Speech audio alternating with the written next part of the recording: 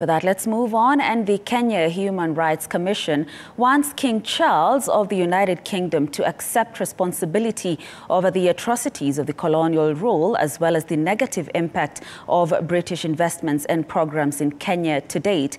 KHRC says it wants the issues addressed since they touch on the victims and survivors of mass and systemic atrocities, historic land injustices, and corporate related violations, for which either the British government directly or indirectly took part in through British corporations and other powerful actors. George Maringa now reports.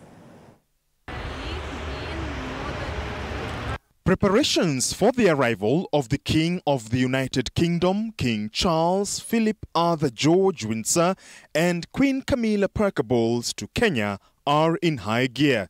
But even before their majesties, the King and Queen, in two days' time, touch down in Nairobi on the 31st of October, the Kenya Human Rights Commission, KHRC, is an agitated lot.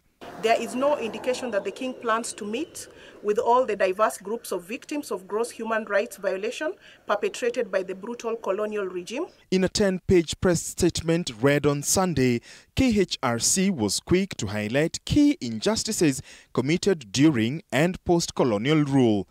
The Commission says that the five key injustices have had social, economic and political implications that continue to be felt to date political repression during the colonial rule, that's between 1895 to 1963 when Kenya got uh, independence. The others are land alienation, gross human rights violations committed by the British corporates, and a very touchy subject, conservation, which they say is the face of new colonialism. A similarly touchy subject is the presence of the British Army Training Unit in Kenya, Batuk. UK High Commissioner to Kenya, Neil Wigan, confessed that they haven't issued an apology in any context as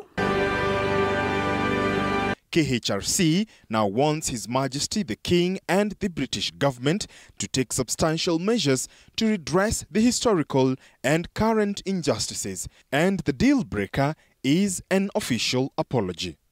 Unconditional public apology and official acknowledgement of the wrongs which have been committed so far.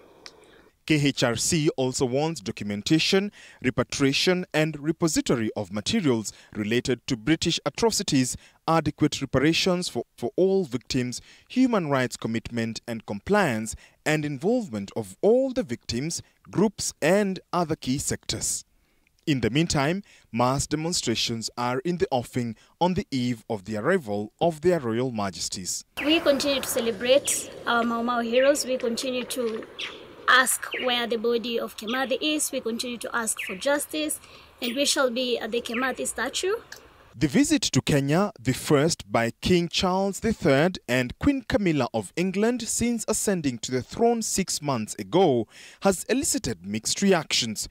And whereas their tour will take place in Nairobi and Mombasa counties only, eyes will be on the way their Royal Majesties will address issues raised by civil society. George Maringa, TV47.